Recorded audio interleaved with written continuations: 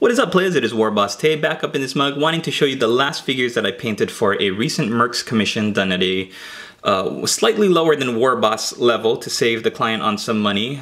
It's uh, the FCC faction, two models from the FCC faction. This is the, you've got the House Master on the left and on the right you've got the Boomer, I believe. I hope I'm not getting all my names mixed up. But these are some really cool sculpts, very tricky to put together, very fiddly. Uh, my good buddy here on YouTube, Mini Warrior, uh, you would know more than more than others, but the model on the left, the Housemaster, is a real pain in the butt to get this ammo belt going just so. And you see how it's kind of trailing out of the gun, twisting around her body there. I really could not get it to stay with the super glue. It's so fiddly because the only point of contact is right there where it connects into the gun.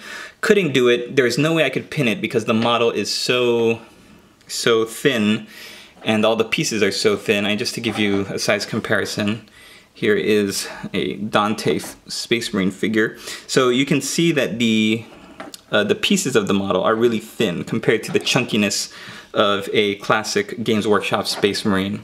So in order to get the model secured and to secure the ammo belt, what I did was I curled it around the leg and I glued it right under the knee pad. So it's, it's a kind of inconspicuous way of creating the optical effect of the, the ammo naturally curving around the body as she's jumping back.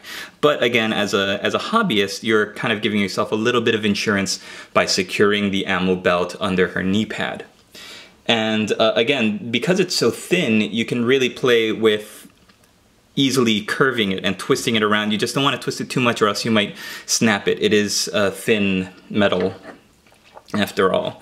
But the, the model is beautiful. I wanted to give her some nice bright tan armor pieces, like the, the, the knee pads and the uh, little armor plate right above her boot. So uh, I, I, think I did a good job with it. I also did that ivory color for her ear earmuffs or her headphones. And uh, that's just Deck Tan from Vallejo, shaded with Agrax Earthshade and brought back up. Beautiful color, very smooth, goes on really, really easily. I prefer it to Rakarth Flesh, but sometimes it can be a little bit bright. So it's, it's a very light color, kind of like a Rakarth Flesh mixed with Pallid Wych Flesh.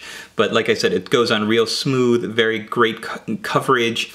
It doesn't clump up too much, you just thin it a little bit with water I'm getting to like Vallejo's line more and more. Of course, because most people know me from my Games Workshop stuff, I'm gonna continue using those colors as a reference. So if you wanna get the same color, the same effect, just use Rakarth Flesh, highlight up with Pallid Wych Flesh, just add a little bit of it into your Rakarth Flesh and build up the color. The guns are a little bit different from my other Mercs figures. What I decided to do with these to make them stand out from my Kemvar as well as my USCR models, I highlighted or edge highlighted both of these guns in Runefang steel, just to pick out the edges like the guns were made from a different material, a different metal that kind of glints in the sunlight on the ends, but they still kind of melt into or transition colors into a very dark iron. The pants were done with Mechanicus Standard Gray. I went for gray pants, Mournfang brown for the boots and the pouches, and Castellan green for the uh, clothes and the gloves. I went with blonde hair for her because she has so much hair it kind of swings around excuse me, swings around her body in the back in this ponytail with a braid in it. And I just thought doing her up as a blonde is a nice color to contrast with the with the gray and the green and the brown. If I'd went with a, a brunette, a dark brunette, that, that might also work. I think if you went with black, because the, the gun is black, a black hair would, would be a little bit too subdued. I kind of still want this model to pop and blonde is a nice uh, focus color to do that with. All right, beautiful model, tricky to put together, tricky to get all the pieces to look natural. And also when you glue your model into your base, what I found was when the model was in the blister shell or when they had sculpted it or whatever, the tab, the metal tab at the bottom that slots into the base was a little bit bent. So the model actually was like leaning very, very far back. You had to, or I had to bend the model forward. That's always tricky because when the model has such a small surface area connected to the tab, uh, you have the danger of breaking either the tab off completely or even worse, like her, her leg could have been broken off at the ankle and that wouldn't be good. So let's take a look here at the Boomer.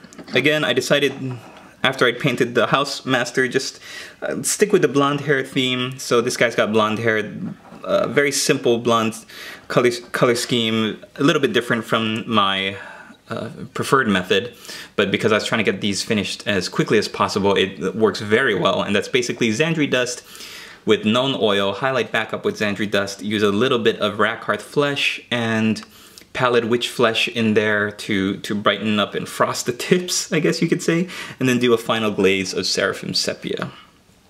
I love how he's kind of leaning back as if bracing to fire this grenade launcher.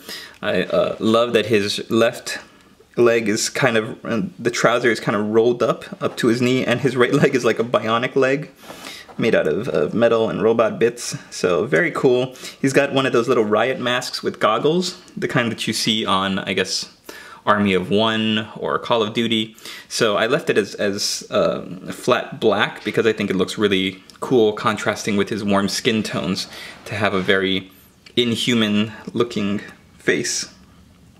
The goggles I did with Mournfang Brown, then highlight up with Zandri Dust and shaded with Seraphim Sepia to kind of give a yellow glass to the yellow look to the sunglasses instead of a normal kind of like blue-black.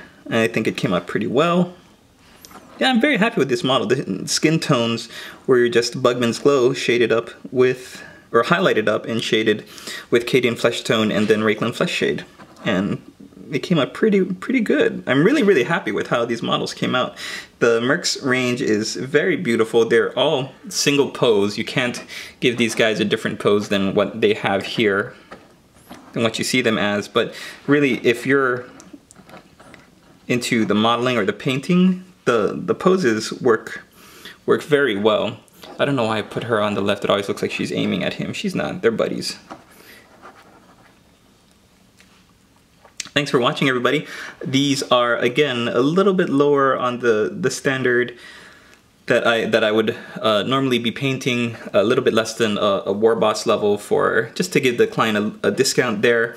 Uh, these models are actually going to go to his nephew who are who is going to be using them to get into the the game wargaming mercs miniatures. So I'm I'm very very happy. It's always great to I guess introduce new players or younger players into different aspects of the hobby. I remember when I was young and I, I, first saw a miniatures game, I was I just fell in love with the look of the models. And now with model making, manufacturing, and sculpting being so good, there is just uh, a wealth of opportunity to inspire and motivate new people to get into the game and the hobby. I hope you guys enjoyed this video. Please write a comment below. Let me know if you have questions on anything. And uh, thanks for watching. We'll see you in the next one.